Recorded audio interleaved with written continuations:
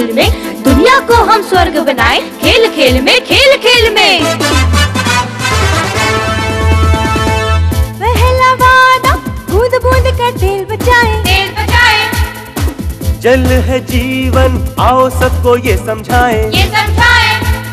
दूजा वादा पेड़ों पर हम फूल खिलाए। शुद्ध हवा से दुनिया को महकाए एनर्जी देती हमको जीवन जीवन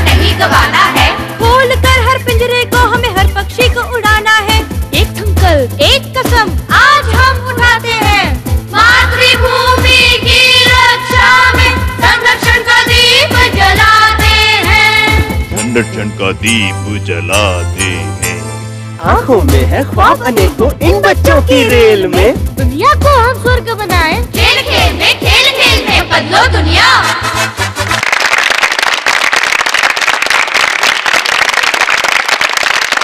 नमस्कार मैं हूँ विशाल। और मैं हूँ अनु। मनोरंजन जानकारी और एक्साइटमेंट पहुँचती है अपने चरम पे। और शुरू होता है वो कार्यक्रम जिसका नाम है खेल खेल में बदलो दुनिया। बदलो दुनिया। अच्छा अनु एक सवाल पूछता हूँ। पूछो पूछो। नहीं रहने दो। क्यों? डर गए? डरने वाली बात क्या है इसमें? मैं तो ये सोच रहा था कि अगर तुम्हें जवाब नहीं आया तो सवाल पूछने का मतलब ही क्या? ओ मेरे सिंपल तो फिर अपने सवाल का जवाब भी खुद ही दे देना। अच्छा मतलब मेरा ढोल मेरे गले में? वैसे जब डोल गले में पड़ जाता है ना तो उसको बजाना ही पड़ता है। और ये मैं नहीं कह रही ये बहुत पुरानी कहावत है। चलो ठीक है फिर बजा ही लेते हैं। अच्छा ये बताओ कि ये पेट्रोलियम और ये कोयला क्या चीज़ है? ओह वेरी सिंपल हमारी पारंपरिक ऊर्जा के बहुत ही अच्छे स्रोत हैं। तुम्हें पता है कि जब इनकी डिस्कवरी नहीं हुई थी इनकी खोज नहीं हुई थी तो हमारी ऊर्जा का पारंपरिक स्रोत था बायोमास बायोमास मगर अगर ऐसा था तो फिर अब हम उसका इस्तेमाल क्यों नहीं करते? करते हैं ना? आज भी बायोमास को गैसीफायर से गैस प्राप्त करके उसका इस्तेमाल किया जाता है। मसलन? मसलन बिजली पैदा करने के लिए मसलन सिंचाई पंप में छोटे मोटे ग्रामीण उद्योगों में। ओके मगर ये बायोमास है क्या? अ, देखो अब जो खेतों में जो कूड़ा कचरा होता है ना मतलब लकड़ी पत्ते डंठल एग्रो इंडस्ट्रियल वेस्ट वो है बायोमास विशाल ये सब तो हमें फ्री में मिल जाता है राइट बिल्कुल और इसे गैसीफायर टेक्निक से गैस भी पैदा की जाती है। That's something interesting right let's start something much interesting तो फिर ठीक है इसी इंटरेस्ट के साथ हम शुरू करते हैं हमारा प्रोग्राम जो कि इससे भी कहीं ज़्यादा इंटरेस्टिंग है। और सबसे पहले इंट्रोड्यूस कराते हैं हमारी आज की टीम्स को। हमारी आज की पहली टीम है टीम शक्ति जो आई है डीपीएस जम्मू से। हमारी दूसरी टीम टीम रक्षक जो आई है children senior secondary school Kota Rajasthan से। इसके साथ ही हमारे साथ यहाँ स्टूडियो में है बहुत ही बढ़िया ऑडियंस और हमारी बहुत प्यारी स्कोरर बूंद जो हमको बताने वाले कि आज किसकी क्या हालत होने वाली है। वेलकम बूंद। Welcome welcome. तो साहब चलिए शुरू करते हैं हमारा पहला राउंड जिसका नाम है कुछ कर दिखाना है।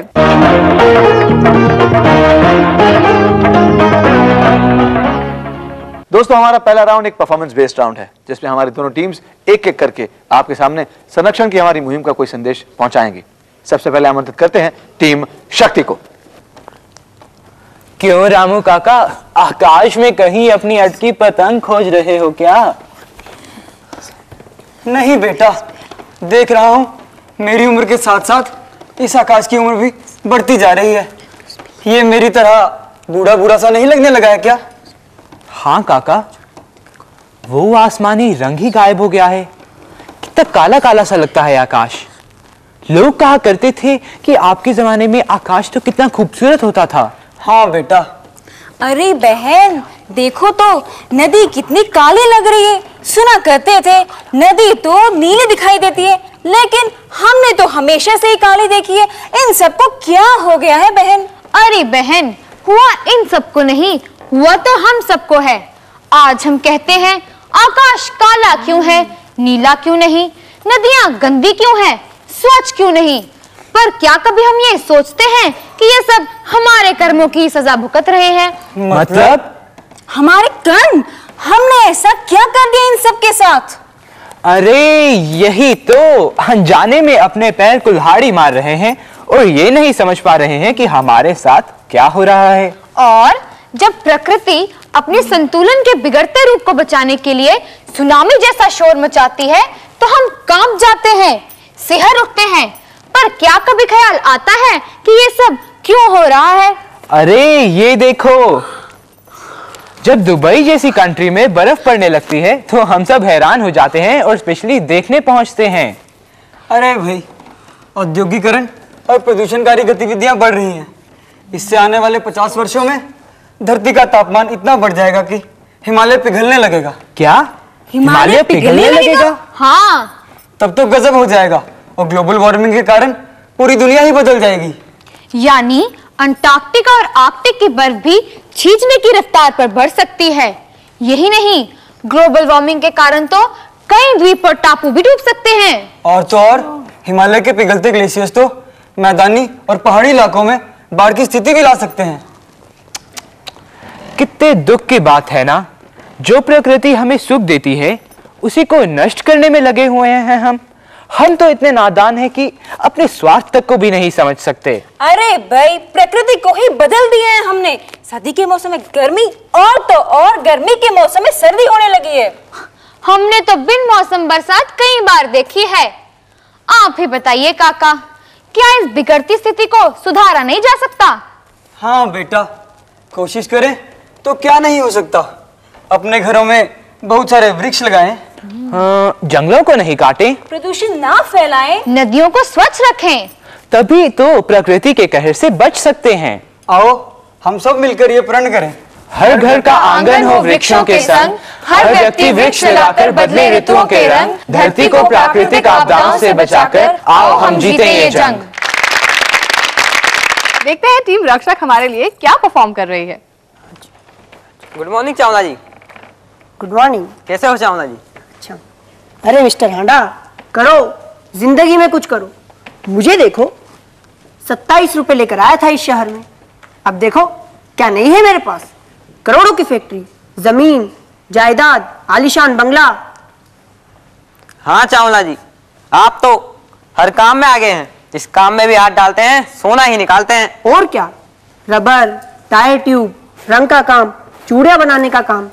ऐसा कौन सा काम है जो मेरा फल फूल नहीं रहा? अजी अजी सुनते हैं? डॉक्टर डॉक्टर ने क्या हुआ? तुम रो क्यों रही हो? हिमांशु। क्या हुआ हिमांशु को? वो ठीक तो है ना? हिमांशु को डॉक्टर ने कैंसर का शक बताया है। क्या? क्या कह रही हो तुम? खैर तुम चिंता मत करो। मेरे पास खूब पैसा है। मैं अपने बेटे का इलाज अच्छे से अच्छे डॉक्टर को बुलाकर अच्छे से अच्छे अस्पताल में कराऊँगा। वाह चावला जी क्या बात है। ऐसा जहर दो दूसरे से पैसा बहाओ। ये क्या बकवास कर रही हो तुम डॉक्टर? मैंने मैंने अपने बेटे को कैंसर कैसे दिया?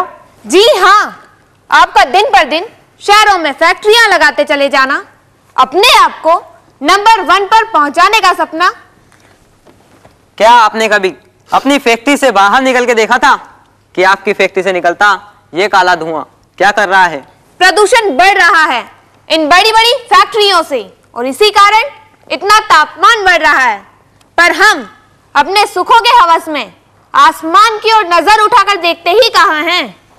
आप तो बस हाय हाय गर्मी गर्मी चिल्लाते हुए अपने एसी रूम में आकर बैठ जाते हैं पर कभी नहीं सोचते कि आज आज जलवायु में अचानक घातक परिवर्तन क्यों होने लगा। सही कहते हैं आप। ये काला धुआँ हमारी सांसों में मिलकर हमें कैंसर कर रहा है। पर जब अपने पर गुजरती है तभी आँखें खुलती है। प्लीज़ प्लीज़ इन फैक्ट्रियों से उगलते जहर को बंद कीजिए। अब मैं क्या कहूँ अपने आप को?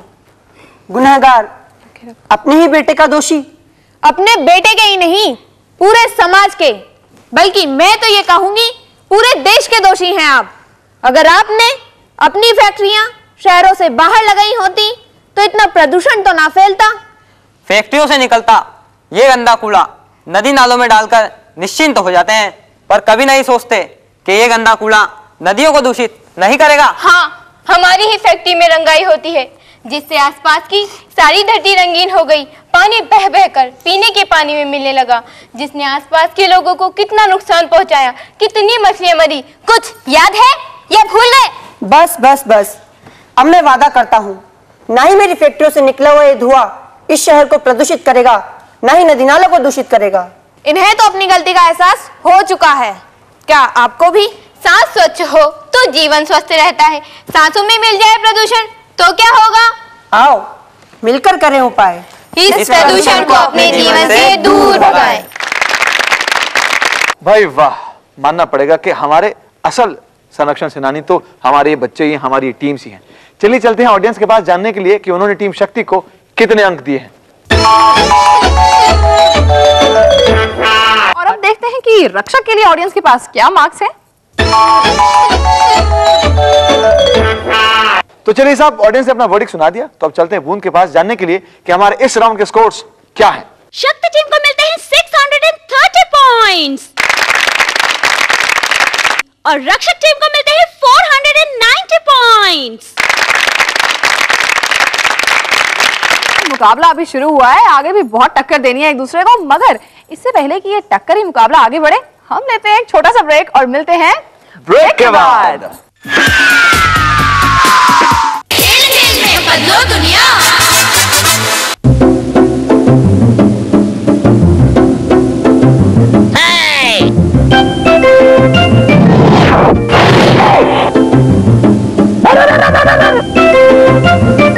धन्यवाद बचाओ जी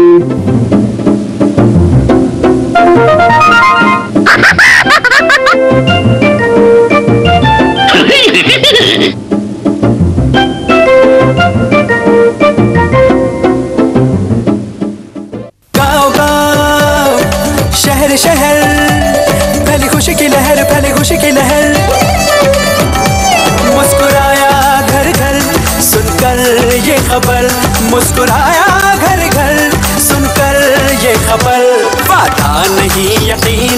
हकदार पाएँगे कैरोसिन। वादा नहीं यकीन हकदार पाएँगे कैरोसिन। नई जन कैरोसिन परियोजना। खेल खेल में बदलो दुनिया। चलिए शुरू करते हैं हमारा दूसरा राउंड जिसका नाम है दुनिया बदलने की बात। टीम्स ये एक बजर राउंड है और इस राउंड में आपको 100 मार्क्स दिए जाएँगे हर सही जवाब के लिए। और गलत जवाब के लिए कोई भी नेगेटिव मार्किंग नहीं होगी। लेकिन एक कैच है। हमारा सवाल खत्म होने से पहले अगर आपने बजर दबा दिया तो आप अपने पड़ोसी के लिए सबसे ज़्यादा लाभदायक साबित होंगे। चलिए साहब हम आपको क्लिपिंग दिखाएँगे। गौर से देखिए क्योंकि इसी पर आधारित हैं हमारे इस राउंड के सवाल। ये रही क्लिपिंग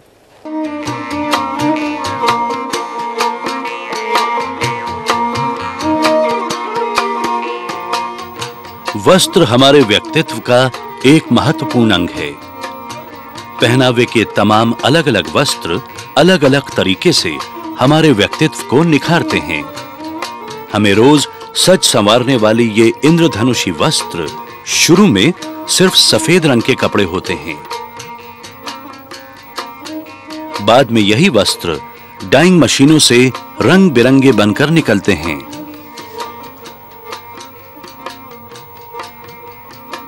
डाइंग प्रोसेस में कपड़े को मशीन के अंदर ही कई घंटों तक घुमाना पड़ता है। कपड़ों के रंगने का यह कार्य कुछ वर्ष पहले तक इंपोर्टेड मशीनों द्वारा ही किया जाता था। हॉरिजेंटल डिज़ाइन की यह डाइंग मशीन लंबाई में काफ़ी बड़ी होती है। सबसे पहले मशीन के सामने की ओर कपड़े को लोड किया जाता है। फिर सक्शन फोर्स द्वारा इस कपड़े को नीचे की ओर एक पाइप में खींच लिया जाता है। इस पाइप के माध्यम से यह कपड़ा मशीन के पीछे की ओर तक पहुँचाया जाता है। यहाँ से यह कपड़ा फ्लोटिंग वेसल में चला जाता है। इस वेसल में पानी भरा रहता है, जिसमें तैरता हुआ यह कपड़ा वापस सामने की ओर पहुँच जाता है। इस पूरे चक्र में पानी की काफ़ी खपत हो जाती है। सूरत के देवरेखा संस्थान ने पानी की खपत कम करने की दिशा में उल्लेखनीय प्रगति की है। कन्वेंशनल पद्धति में ज़्यादा पानी यूज़ होता है। इसका रीजन ये है कि कपड़ा को मशीन में आगे बढ़ाने के लिए फ्लोटेड करना पड़ता है। तो उसमें फ्लोटिंग फ्लोटिंग करने के लिए, तरने के लिए ज़्यादा पानी चाहिए। तो हमने टोटली, प्रिंसिपल ही चेंज कर दिया कि जिसमें फ्लोटेड करके कपड़ा आगे नहीं आवे, मगर ग्रेविटी फोर्स से आए। तो जो लंबा मशीन था स्टेट था पैरेलल था ज़मीन से उसके बदले हमने यू कर दिया। नए वर्टिकल डिज़ाइन वाली मशीन में फैब्रिक के मूवमेंट के लिए ग्रेविटेशनल फोर्स की सहायता ली जाती है। इसके कारण डाइंग प्रोसेस में पानी का उपयोग बहुत ही कम होता है।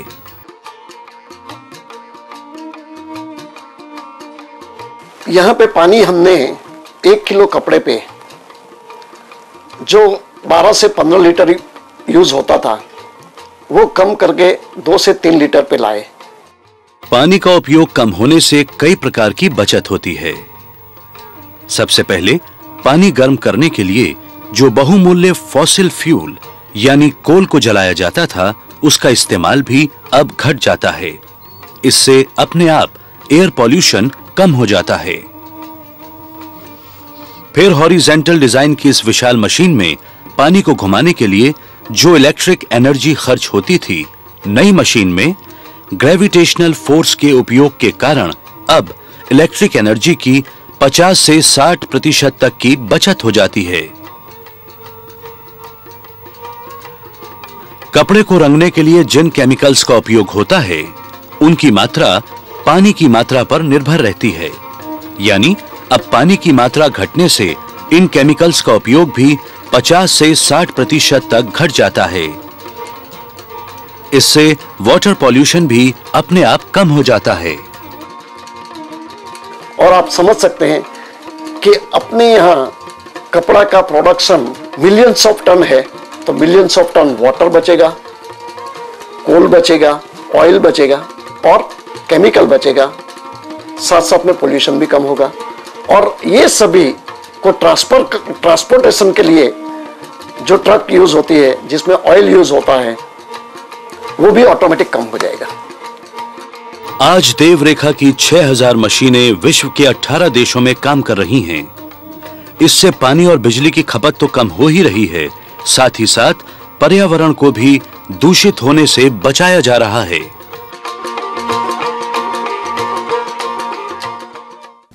Ready for the quiz? Here's the first question. ध्यान से सुनिए। हॉरिजॉन्टल डाइंग मशीन की कार्यप्रणाली में क्या कमी थी? रक्षक? इसमें पानी की काफ़ी खपत होती थी। यही कमी थी? पानी और- खपत होती थी लेकिन आपके जवाब में कोई कमी नहीं है। This is the right answer okay सवाल नंबर दो। ऑल सेट वर्टिकल डिज़ाइन वाली मशीन में फैब्रिक के मूवमेंट के लिए किसकी सहायता ली जाती है? शक्ति Gravitational force the- You pulled on 100 points. That's the right answer. Ready for the next question dyeing process में पानी को गर्म करके उपयोग क्यों किया जाता है रक्षक कोयले की खपत कम होती है जिससे प्रदूषण कम होता है ओके टीम शक्ति आप ट्राई करना चाहेंगे Yeah, uh, uh, by reducing the like uh, heating the water, we need to use a less amount of chemicals or and dyes for the process. Well I am so sorry आपने हमारे सवाल को लगता है शायद ठीक से समझा ही नहीं आपका सवाल हमारा सवाल था डाइंग प्रोसेस में पानी को गर्म करके उपयोग क्यों किया जाता है? वो इसलिए ताकि फैब्रिक एक्सपांड हो और वो डाई को आसानी से एब्सॉर्ब करे। This is what we were looking at nevertheless let's go to Boond जानने के लिए कि इस राउंड के स्कोर्स क्या हैं। शक्ति टीम को मिलते हैं हंड्रेड पॉइंट्स। और रक्षक टीम को भी मिलते हैं हंड्रेड पॉइंट्स। इससे पहले कि हम अपने अगले राउंड की तरफ़ जाएँ चलिए आपको ले चलते हैं एक छोटे से ब्रेक की तरफ़। बदलो दुनिया। Petroleum Conservation Research Association. अधिकतम कार निर्माता इसी गति पर चलाने का परामर्श देते हैं। अपनी गाड़ी की स्पीड के अनुसार ही गियर बदलें।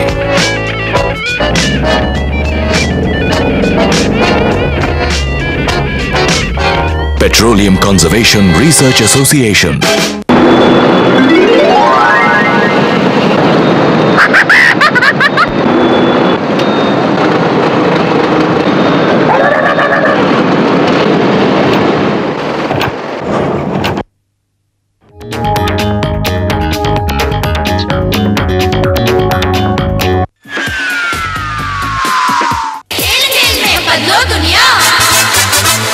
चलिए शुरू करते हैं हमारा तीसरा आखिरी और सबसे इंटरेस्टिंग राउंड जिसका नाम है, देखो। मगर ध्यान से।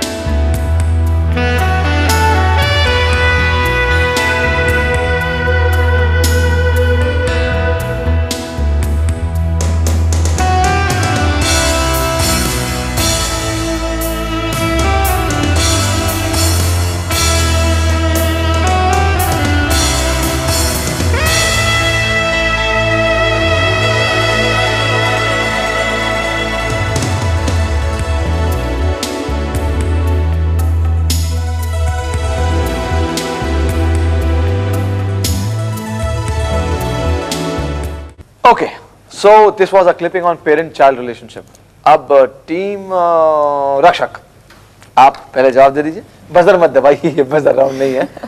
You will be telling us about what did you see which was positive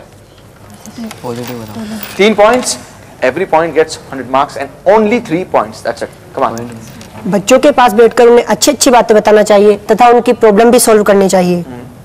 parents को चाहिए कि वो बच्चों को अच्छी जानकारी देने वाले चैनल्स देखने के लिए प्रेरित करें Okay. क्योंकि बच्चे देश के सूत्रधार होते हैं और बच्चे ओके ओके उसके आगे के पॉइंट पेरेंट्स बच्चों को सही व सटीक जानकारी दे जिससे उनका भविष्य उज्जवल हो सके। और बच्चे यदि कोई चीज़ लेकर आए उनकी जो परफॉर्मेंस है उन्हें दिखाएँ तो उन्हें अपने कार्य का बहाना लगा करके टालना नहीं चाहिए जिससे उन्हें हतोत्साहन होता है प्रोत्साहन नहीं मिलता है। ओके आपसे हमने तीन पॉइंट्स कहे थे आपने तीन से ज़्यादा कह लिए। Fine team Rakshak. टीम शक्ति अब आप हमें ये बताइए कि आपने उस क्लिपिंग में कौन कौन से रॉन्ग एक्शंस देखे? थ्री पॉइंट्स राइट वो वो फादर वहाँ पे स्मोकिंग कर रहा है चाइल्ड के सामने और इसका बैड इफ़ेक्ट हो सकता है उसकी हेल्थ पर। Ignoring the studies of child child Instead, and instead of this, he watches TV, TV. and he, uh, instead he's giving first priority to the television. हाँ, वो television देख रहे हैं और- Next thing is that he is encouraging the child to speak lies. For instance, when the when there is a call for him and he doesn't want to attend his call, he okay, tells his okay, child to lie to the caller. We did get the answer. Fine. Now, team Shakti आपकी जो तीन points थी बच्चों के सामने धूम्रपान न करें यदि बच्चे होमवर्क करने में आपकी मदद मांगे तो उन्हें मदद दें और बच्चों को झूठ बोलने के लिए कतई प्रोत्साहित न करें जवाब आपने अंग्रेज़ी में दिया मैंने क्यों कहा हिंदी में पढ़े मतलब आपको पूरे पॉइंट्स मिलने चाहिए। दैट इज़ राइट और टीम रक्षक आपने अ, अपने बच्चों को सही कार्यक्रम दिखाए जिनसे उन्हें शिक्षा मिले ये एक पॉइंट आपने कही थी। और एक चीज़ जो हम आपसे चाह रहे थे जानना वो आप नहीं कह पाए वो थी बच्चे यदि गुमसुम हो या परेशान हो तो उन्हें प्रोत्साहित करें उनसे बैठें उनके साथ बात करें उन्हें अवॉइड न करें। ये एक पॉइंट हम आपसे चाहते थे। और उनकी हॉबीज को डेवलप करने में उनकी मदद करें।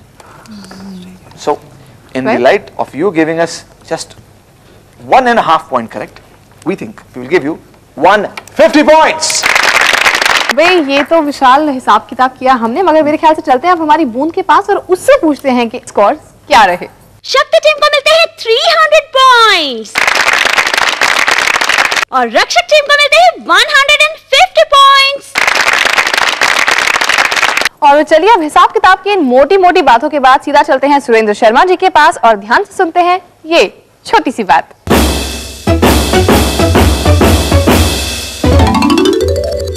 एक दिन मेरी घराड़ी मुझसे बोली, ए जी, अगर पेट्रोलियम पदार्थ खर्च हो जाएँगे तो क्यों होगा मैं बोलो तो फिर तू रोज रोज मैके ना जा पाएगी, क्योंकि पेट्रोल, डीजल के बिना गाड़ी कैसे चल पाएगी? तेल गैस ना होगा तो रोटी कहाँ से बनाएगी, क्या खावेगी और क्या खिलावेगी? तो घराड़ी बोली, ये पेट्रोलियम पदार्थ खत्म ना हो, इसके लिए कुछ कर सको हो? मैं बोलो, मैं तो यही कह सकूँ हूँ, आप सबसे पेट्रोलियम पदार्थों को खर्च करो, बर्बाद नहीं, जिससे आपकी घरवालियों का भी मैके जाने का प्रोग्राम बना रहे और आपके और हमारे घर की शांति बरकरार रहे। संरक्षण की दुनिया में क्या नई गतिविधियाँ चल रही हैं? आइए जानते हैं संरक्षण समाचार में। बसों और अन्य वाहनों के बाद राजधानी दिल्ली के उद्योगों को भी अब गैस से चलाने की कोशिशें शुरू हो गई हैं। ये गैस सीएनजी की तरह प्राकृतिक तो होगी ही, उसके मुकाबले सस्ती भी होगी। इस गैस का उपयोग राजधानी दिल्ली को प्रदूषण के खतरों से बचाने की तुलना में एक महत्वपूर्ण कदम साबित होगा।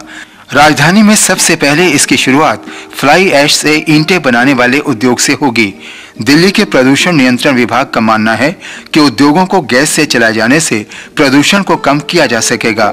सबसे पहले राजधानी के नगला माची इलाके में फ्लाई ऐश से ईंटें बनाने के लिए जल्दी ही एलएनजी गैस का इस्तेमाल किया जाएगा। एलएनजी के इस्तेमाल से प्रदूषण तो कम होगा ही, उद्योगों को भी इससे फ़ायदा होगा। तो साहब here comes a moment where we get to know कि आज का विजेता कौन है। चलिए फाइनल स्कोर्स के लिए चलते हैं बूंद के पास। शक्ति टीम को मिलते हैं 1030 पॉइंट्स और रक्षक टीम को मिलते हैं 740 points congratulation team Shakti and team Rakshak team Shakti आपने तो हमारा आज का ये एपिसोड जीता ही है लेकिन टीम रक्षक आप बनी है हमारी आज की विनर नंबर टू हमारे सभी पार्टिसिपेंट्स को मिलते हैं एचपीसीएल की तरफ़ से ये आकर्षक उपहार Well, the spirit of game is in participating and not just winning or losing.